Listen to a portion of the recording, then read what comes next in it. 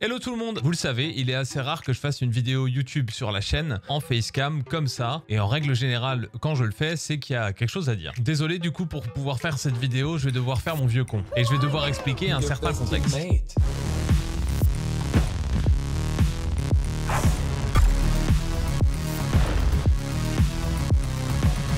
Comme certains le savent déjà, j'ai commencé l'e-sport en 1999, là où peut-être que certains qui regardent n'étaient peut-être même pas nés. À cette époque, YouTube et encore moins Twitch n'existaient pas. Il était presque impossible, voire même impensable, de monétiser quoi que ce soit alors. Dans l'e-sport, les compétitions étaient créées uniquement par la communauté, pour la communauté. Pendant presque 15 ans, les éditeurs de jeux vidéo n'avaient pas un vrai attrait pour la dimension e-sport de leur jeu. Pendant toute cette période, l'e-sport c'était un truc de passionné qui était souvent dissocié de l'éditeur de jeux vidéo. Cette vision des compétitions, elle est quelque part restée toujours ancrée en moi. De sorte que j'ai toujours considéré que ce que donnait un éditeur en termes de compétition ne devait venir qu'en bonus de ce que faisait déjà la communauté sur le jeu. Avec Twitch et YouTube, 2014 et 2015 ont vu totalement les règles changer. Et les éditeurs ont parfaitement compris l'intérêt logique, car souvent marketing, mais pas que, à s'intéresser, accompagner, voire même créer eux-mêmes les compétitions sur leur jeu. C'est pile poil à la sortie de Rainbow Six qu'Ubisoft a su créer, avec si peu d'expérience, des compétitions telles que la Pro League, les Minors, les Majors et le Six Invitational. L'investissement en termes humains, en termes de communication, en termes financiers était si gros qu'il n'y avait plus vraiment d'intérêt à ce que la communauté crée des compétitions elle-même. Nous étions, et nous sommes toujours, dans une certaine mesure, rassasiés en termes de compétition e-sport. Et ça, c'était un peu avant le Covid. À l'image de ce qu'on voit maintenant dans le sport, l'e-sport suit un peu la tendance de ne créer du contenu compétitif que si ce contenu compétitif y intègre tous les éléments du marketing. Et pour faire ça, comme dans le sport, il n'y a pas 36 000 solutions. On se focalise sur les équipes qui font du reach, qui font de l'engagement, qui rapportent. Bref, les équipes qui sont souvent tout en haut. On vient alors un peu casser le moule et les perspectives d'évolution pour les jeunes talents de demain qui se situent eux en bas de l'échelle. Grosso modo, dans le foot, on aimerait avoir 5 Champions League par an et ne plus jamais avoir à broadcast un seul match de D2 française. C'est un peu cliché, mais on n'est pas si loin que ça de la vérité. Rapporté à notre jeu, puisqu'on n'est pas au foot, sur R6, on fait plusieurs majors par an, un Six Invitational, et le Covid, entre autres, nous aura de justesse empêché de voir ce qu'aurait pu donner le Super Six Invitational, à savoir la Six World Cup. Tout ça, c'est en haut de la pyramide. Et à côté de ça, on trouve difficilement du budget pour garder une Gamer Assembly, et plus du tout de budget pour organiser des compétitions comme la Six French Cup qui est si importante pour les futurs talents justement de demain. Alors ça pourrait sonner comme un reproche envers Ubisoft, mais c'en est pas un. Il y a un moment, faut arrêter de se mentir, et je suis pas vraiment sûr que tout aille pour le mieux dans le meilleur des mondes à l'heure actuelle chez Ubi.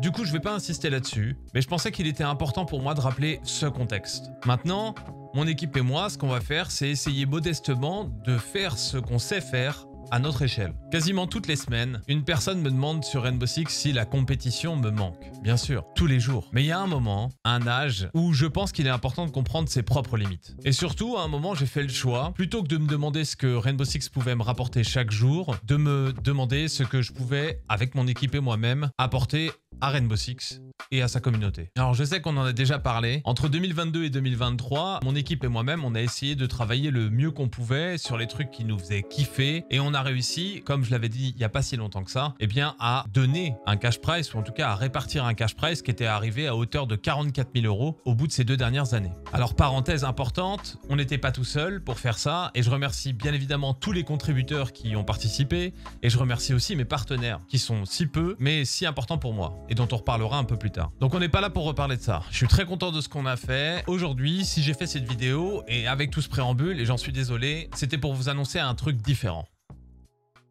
C'est pourquoi je suis super content, et mon équipe aussi je l'espère, enfin pour le moment avant les coups de stress, de vous annoncer une compétition euh, qui n'a rien à voir avec ce qu'on a pu faire et ce que vous avez pu voir sûrement par le passé. Alors rien à voir avec ce que vous avez pu voir par le passé, oui, pas forcément dans son bracket, mais plutôt dans la volonté pour nous d'essayer d'y impliquer à notre échelle, modestement, une grande partie, ceux qui veulent, de la communauté. Comme je le dis souvent sur mes streams Twitch, au final, moi je ne suis qu'un outil. Ainsi, je vous annonce que le week-end du 2 et 3 mars 2024, 2024 aura lieu ma première LAN, l'Hexagone 6.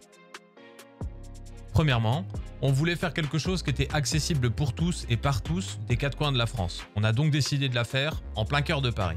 Deuxièmement, on voulait pour vous une vraie expérience, belle, unique, simple. Pas besoin d'amener son PC, plus de 100 PC, 240 FPS, 240 Hz seront là et vous attendront sur place. On voulait une vraie prod, on aura une production de télé qui sera prévue à l'événement. On voulait une LAN où les joueurs puissent prouver. Les 21 équipes participantes qui participeront le samedi seront aussi là le dimanche. On voulait une LAN où il était facile pour les spectateurs de participer au show. Des vraies places de spectateurs seront prévues pour ceux qui veulent venir assister et voir les meilleurs joueurs français. On voulait un titre sympa, l'équipe gagnante sera championne de l'Hexagone. On voulait un beau cash price, et on voulait aussi faire participer toute la communauté. Le cash price sera donc d'un montant de, roulement de tambour, 0 euros ou 10 000. Je vous explique. Un peu à l'image de ce que peut faire Dota, toute proportion gardée, pour la première fois, le cash price sera entièrement crowdfundé grâce à un système mis en place qu'on a décidé d'appeler le coffre. Le coffre, c'est un donation goal multistream. En deux clics, les streamers, joueurs, casters, influenceurs, youtubeurs de la communauté pourront activer, s'ils le souhaitent, le coffre sur leur chaîne. Quel que soit le stream ou la plateforme, tous les streamers qui veulent aider au projet, au même moment, recevront la même notification. De mon côté, sur ma chaîne Twitch, dès la parution de cette vidéo et jusqu'à la fin de l'event, 100% de mes dons iront remplir le coffre, à savoir le cash price de l'Hexagone 6. Alors je peux rien imposer, mais je ne peux qu'encourager les personnes qui souhaitent participer à l'événement, de quelque manière que ce soit, qu'ils nous aident à mettre en place ce système participatif. Ah j'oubliais, pour aller dans ce sens, n'oubliez pas de signer vos dons et le streamer par lequel vous passez. De notre côté, on va tenir à jour un scoreboard. Pendant les finales à l'eSpot Paris, la place qui sera juste à côté de moi sera volontairement libre. Celles et ceux dont les viewers rapportent le plus d'argent pour les joueurs, via le coffre, pourront, s'ils le souhaitent, venir caster à mes côtés un ou plusieurs matchs avec moi et parler de leur chaîne. Alors désolé pour cette vidéo que j'aurais très certainement pu résumer en trois lignes, mais pour finir, je dois quand même rappeler que tout ceci n'aurait pas été possible si Oli euh, n'avait pas été là pour euh, épauler ce genre de contenu. Je n'ai jamais eu la chance d'avoir de nombreux sponsors, à proprement parler, je n'ai que. Et je suis super content de voir que ce qui avait commencé il y a un an par un simple « pourquoi pas » quand euh, on m'avait envoyé un échantillon, s'est aujourd'hui transformé en un vrai partenariat. D'une part, j'aime leurs produits et je le fais savoir, et d'autre part, eux, ils m'aident à faire ce genre de truc-là et à organiser des choses pour la communauté Rainbow Six. C'est gagnant-gagnant, et moi, c'est le genre de truc qui me fait kiffer. Donc n'hésitez pas, si vous souhaitez tester leurs produits de fou, vous avez le lien dans la description et vous pouvez utiliser le code 64 ou 645, bref, tout est dans la description. Et sinon, vous venez à l'event les 2 et 3 mars à Paris, il y a des chances qu'il y ait des échantillons qui traînent et que vous puissiez tester leurs produits de zinzin. Plusieurs points pour conclure, du coup, le résumé au final. La LAN, l'Hexagone 6, le nombre d'équipes, 21. Le cash price, dynamique, qui sera compris entre 0 euros et 10 000 euros, 10 000 euros étant le maximum qui nous est autorisé euh, par la licence Ubisoft. Vous trouverez dans la description le lien pour la billetterie. Pour rappel, ce sera à l'eSpot, en plein cœur de Paris. Vous aurez une connexion et des bécanes de course. Pas la peine d'amener son PC, vous pouvez venir avec un sac à dos.